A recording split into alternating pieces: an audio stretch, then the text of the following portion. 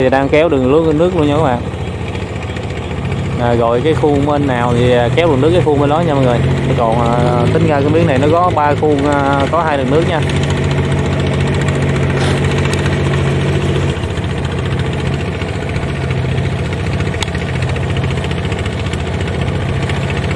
Bạn thấy không? Này kéo nước tính ra cũng dày các bạn. Khoảng 6 5 tầm khoảng 5 tầm đất năm tầm một đường, năm tầm một đường này chơi kiểu như là gắn bò các bạn. Chạy cho nào giáp tới đầu trên mới thôi.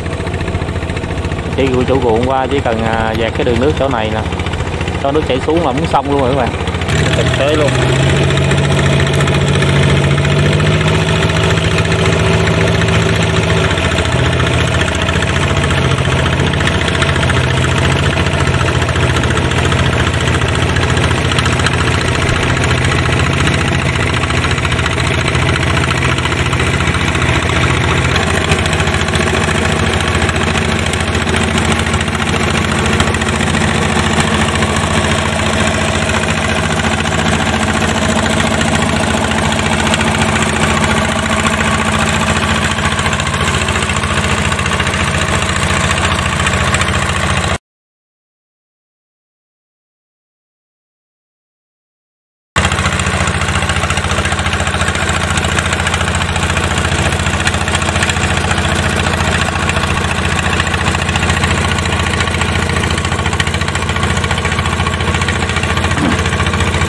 Giam cực lắm nha mọi người.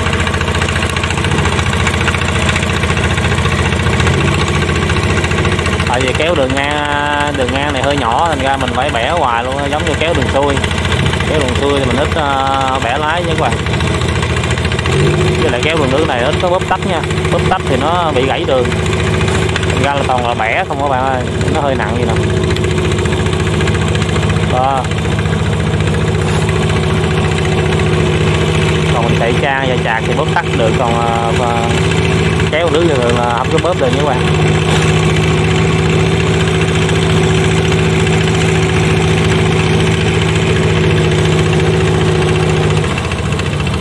Nó giảm ga là bẻ nặng hơn nữa nha.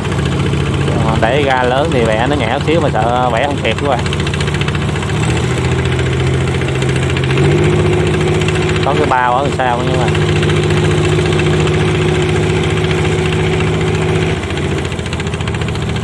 kéo nước thấy gì chua lắm chứ không phải là dễ giống như là mình chạy máy đâu nha. Lâu lâu thì mới bóp được còn không ấy thì à, bóp thì nó lâu. Bóp tắt đó các bạn. Đây, chạy từ đây lên tới đầu kia các bạn thấy còn rất xa các bạn thấy không?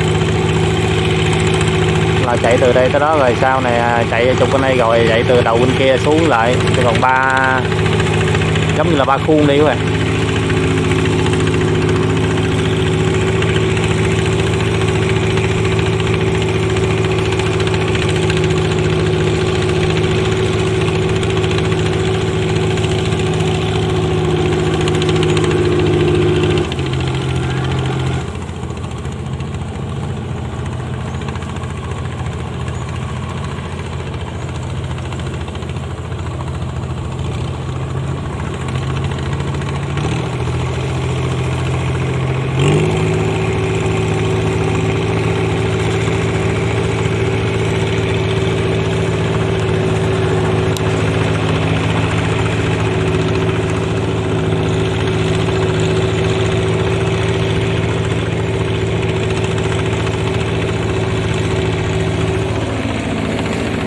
Đây kéo xong rồi.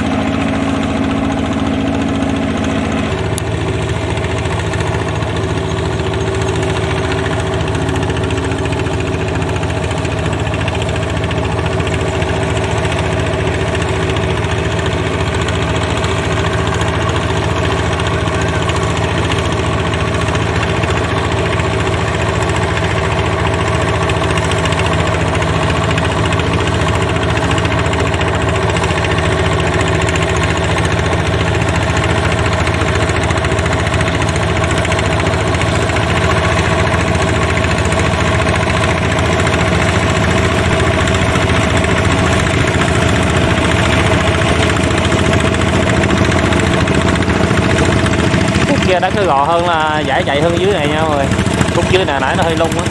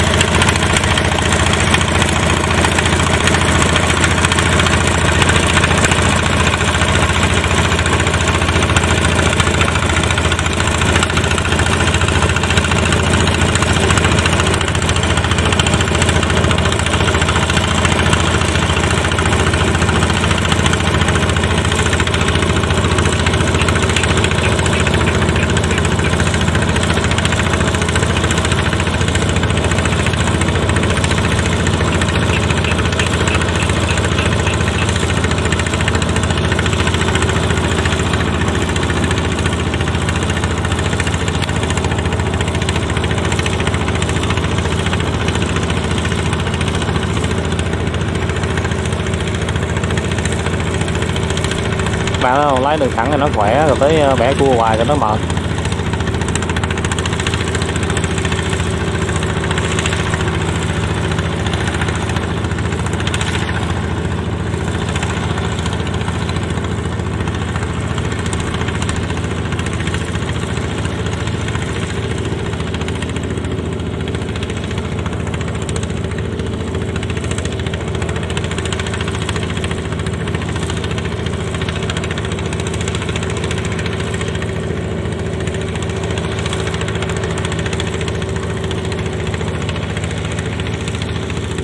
Hai đầu giạc hai bên này còn chưa sửa nha các bạn.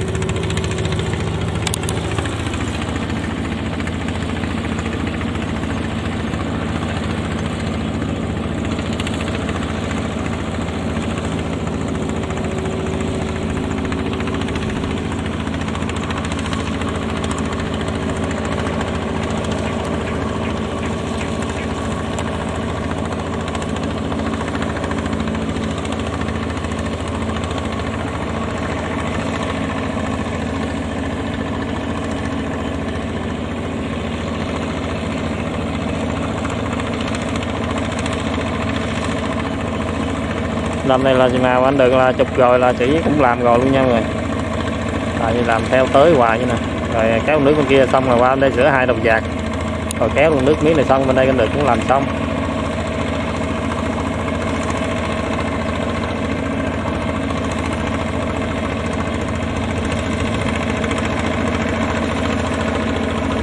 Rồi, chỗ này vừa mới kéo xong nữa các bạn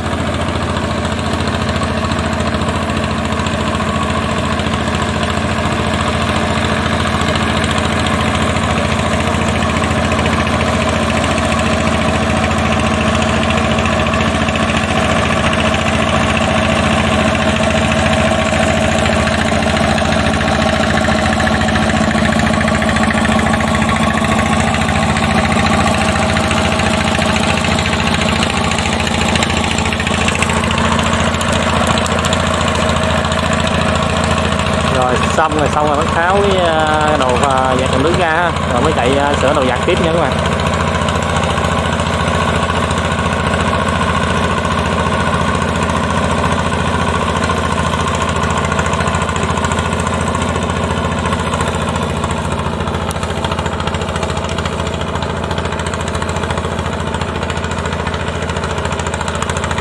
Rồi, chào các bạn mọi người luôn ha.